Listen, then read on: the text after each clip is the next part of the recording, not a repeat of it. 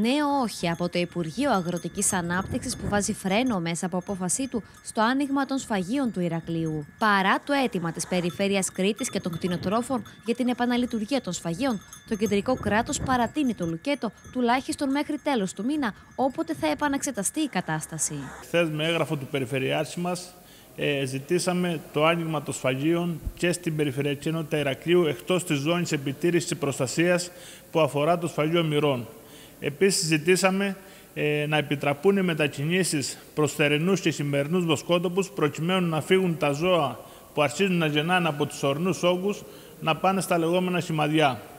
Σήμερα βγήκε η απόφαση από το Υπουργείο όπου παρατείνει το κλείσιμο των σφαγείων και των μετακινήσεων έως και στις 30 Αυγούστου και θα επαναξιολογηθούν τα δεδομένα 30 Αυγούστου. Η εξέλιξη αυτή αποτελεί θηλιά για τον κλάδο, με τις εκκλήσεις κτηνοτρόφων και περιφέρειας να πέφτουν για ακόμη μία φορά στο κενό. Πρώτον πυλών βρίσκεται η συνάντηση κτηνοτροφικών συλλόγων με το αρμόδιο Υπουργείο τις επόμενες ημέρες για να βρεθούν στο τραπέζι τα καυτά ζητήματα του κλάδου. Έχει ένα ραντεβού τη 27 του μήνα στο Υπουργείο με τον Υπουργό τον ίδιο ε, κτηνοτροφική συλλόγη που θα το θέσει εκεί επιτάπητος το θέμα θα ζητήσουμε μία έκτακτη ενίσχυση, αλλά να δοθεί μέχρι τα Χριστούγεννα για να μπορούμε να πάρουμε αναπληρώσουμε τι τροφέ μα, να ταΐσουμε τα ζώα και να τα ξεγεννήσουμε. Εμείς και σύμφωνα με το αίτημα που στείλαμε, από τη στιγμή που το σύνολο των δειγμάτων βγήκαν αρνητικά στην περιφέρεια Κρήτης και από τη στιγμή που έχει περάσει το 20ήμερο της ΕΠΟΑΣ νόσου, νομίζω ότι τα ασφαγεία έπρεπε να ανοίξουν και να επιτραπούν και οι μετακινήσεις. Παράλληλα, το Υπουργείο παρατείνει την απαγόρευση για τη μετακίνηση των κοπαδιών από τους ορεινούς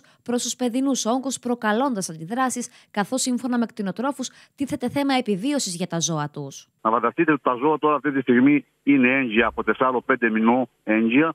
Ε, είναι στα βουνά με με τις ζέστες, με τη λειψιδρία που υπάρχει φέτος, που βαλούμε το νερό με το βιτίο, με το στανιό που λένε. Τα ζώα μας είναι τσιλιόβαρα, δεν θα μπορούν να περπατήσουν. Έπρεπε να ήταν από χθες κατεβασμένα από βουνό να μπουν σε καταστάσεις, να μπουν σε σημαδιά μας, να μπορούν να είναι σε ασφαλές περιβάλλον. Εμείς με το αίτημα που κάναμε από χθες, ζητήσαμε και το άνοιγμα του σφαγείου και να επιτραπούν ε, οι μετακινήσεις. Ό,τι ζητάμε είναι βάση λογικής. Δεν ζητήσαμε την προηγούμενη εβδομάδα άνοιγμα των σφαγείων του Ηρακλείου επειδή είχε το κρούσμα.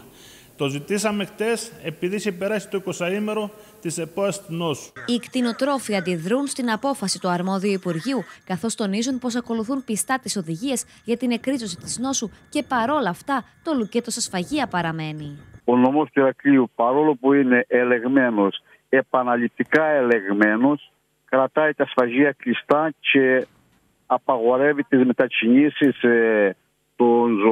Σύμφωνα με την ανακοίνωση του Υπουργείου, 30 Αυγούστου θα γίνει επαναξιολόγηση από τις αρμόδιες υπηρεσίες, ωστόσο όλα τα ενδεχόμενα είναι ανοιχτά, ακόμη και αυτό της νέας παράτασης.